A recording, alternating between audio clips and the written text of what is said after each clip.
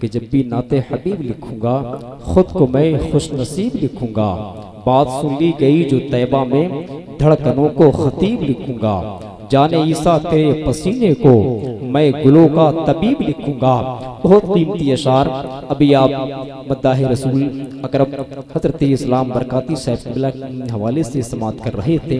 बहुत अच्छी आवाज़ के मालिक और बहुत अच्छे लहजे के मालिक। हज़रत शायरी सुन्नत इस्लाम बरकाती साहब से आपने बहुत दिल खोल के सुना और बहुत दिल खोल के आपको उन्होंने सुनाया भी। से कह दे सुभान अल्लाह हुजूर तारे शरिया के दिल में, मोहब्बत अपने दिल में लेकर जीने वाले तहलिया के सुन मुसलमान इस चार मिसरे सुन ले। शायर कहता है कि आलम इस्लाम में मकबूल है अख्तर रदा।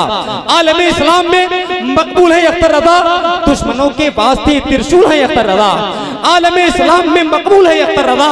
दुश्मनों के वास्ते त्रिशूल है अतरदा रदा और हाशिदों से बोल दो, मुरझा नहीं सकते कभी। गुलशन अहमद रदा के फूल है अतरदा रदा हाशिदों से बोल दो, मुरझा नहीं सकते कभी।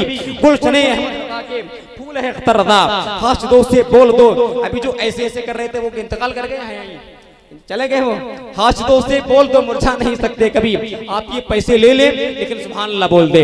हाशिदों से बोल दो मुरझा नहीं सकते कभी। गुलशने अहमद रदा के फूल है अख्तर रदा आइए बावजू हो के जो कुरान की तिलावत की है मैंने सरकार के जलबों की जियारत की है। सब ठीक है भाई? कौनो बात तो नहीं खे तो मोहब्बत से कह दें या रसूल अल्लाह या रसूल अल्लाह हमारे चचा जान बैठे हुए हैं ये घर से कसम खा के आए हैं कि जलसे से तीन बजे उठ के जाऊँगा चाहे सलाम दो बजे हो जाए। मैं तीन ही बजे जाऊँगा। अगर सब ये इरादा बना लें तो इन ताला जलसा कामयाब है। जरा मोहब्बत से कह दें सुबहान अल्लाह सुबहान ये बुज़ुर्गों की बातें सुनी जाती हैं और ये बातें कभी कभी सुनने के लिए मिला करती हैं। इनमें तजुर्बों की भी बातें हुआ करती हैं नसीहतों की भी बातें हुआ करती हैं और बहुत अच्छा खतीब इस वक्त मेरे रसूल की जीनत में इजाफे का सबब बना हुआ है। जिसे दुनिया सुनियत खतीब याद में हिंदुस्तान मुफक्र इस्लाम इस्लामिक स्कॉलर हज़रत मुफ्ती हसनैन मंजरी के नाम से जानती और पहचानती है। अलजामियातुल्क़ादरिया रिछा रेलवे स्टेशन की दरसगाह में बैठ कर जो दर्स देने वाला खतीब है जो कोई आम मामूली खतीब नहीं जिसे दरसी खतीब भी कहा जाता है इलमी खतीब भी कहा जाता है।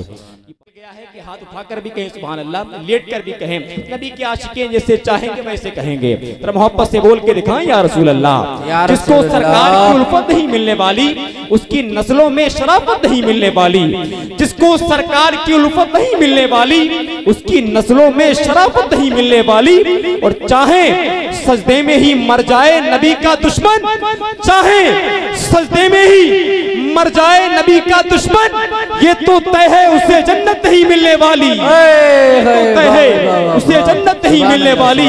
चाहे सजदे में ही मर जाए नबी का दुश्मन ये तो तय है उसे जन्नत नहीं मिलने वाली। अगर मुझे मालूम होता कि ये शेर इतना अच्छा है ये शेर मैं बहुत पहले पढ़ चुका होता।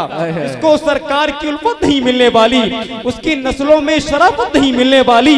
चाहे सजदों में मर जाए अली का दुश्मन ये तो तय है उसे जन्नत नहीं मिलने वाली। आई वो तेज़ी के साथ हज़रत शायर सुन्नत इस्लाम बरकाती से फिर मुलाकात करते हैं। एक इस्तिकबालिया नारा लगा ले। नारई तकबीर। नारई रिसालत मसल के आला हज़रत फैजाने आला हज़रत फैजाने दारुल शरिया फैजाने औलियाए किराम निकले हैं। सुए तैयारे नबी मुस्कुरा के निकले हैं। हम अपने गम का जनाजा उठा के निकले हैं। सुए तैयारे नबी मुस्कुरा के निकले हैं। हम अपने गम का जनाजा उठा के निकले हैं। और तुम्हारे हिजर की, तुम्हारे हिजर की यादों के झोंके आए थे। को अशकों से दिल का बना के निकले हैं। और मैं चीखे मार के रो कि और मर जाऊँ कि अश्क मेरे लिए मुस्तफ़ा के निकले हैं। मैं चीखे मार के रो कि और मर जाऊँ। कि मेरे लिए मुस्तफ़ा के निकले हैं। आइए, खतीब आदम हिंदुस्तान मुफ्ती हसनैन मंजरी साहब की आमद आमद हो रही है। आइए किस नारा लगाएँ।